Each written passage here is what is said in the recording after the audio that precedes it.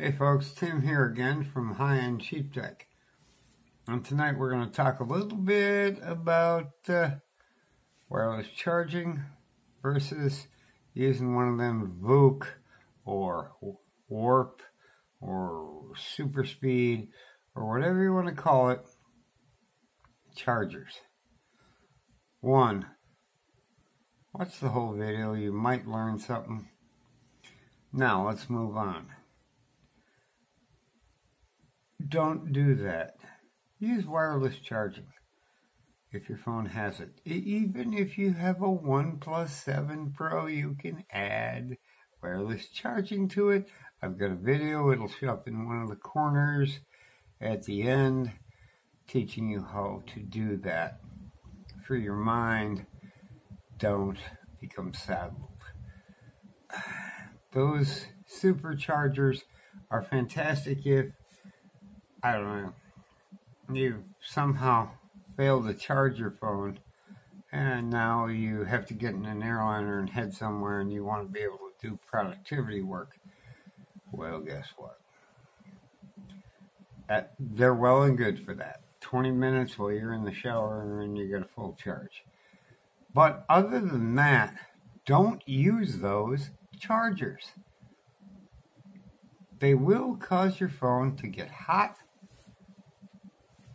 your battery that is.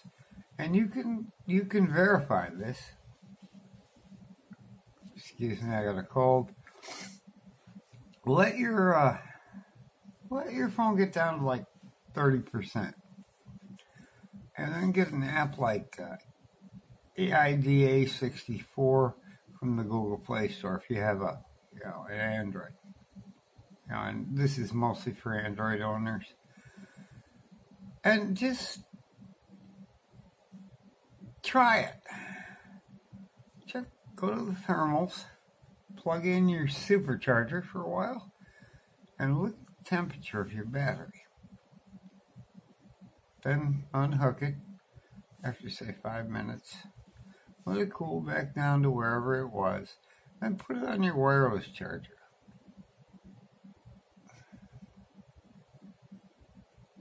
Yeah, maybe you're only going to get one, two amps out of wireless.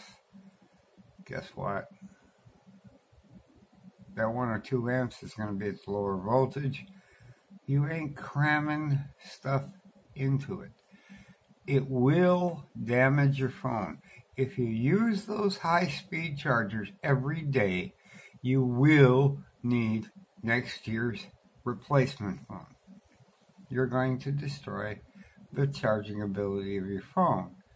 Now, that depends on how much you use it, of course, but if you're one of those guys, I'm a power user, then have a wireless charger at work and a wireless charger at home. They're a few bucks.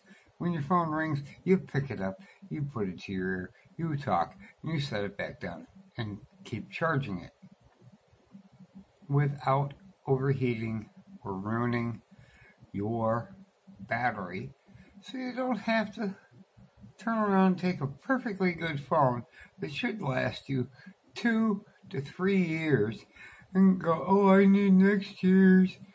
It's got an even faster charging time and a bigger battery. How about you just take care of the battery you have? And that's all I got for today. Please like this video subscribe to our channel. If you found this the least bit helpful or informative, uh, this was totally shot on the Mi A2 from Xiaomi. Check the description below for links to anything I've mentioned. Uh, and uh, thanks for watching. Catch you in the next one.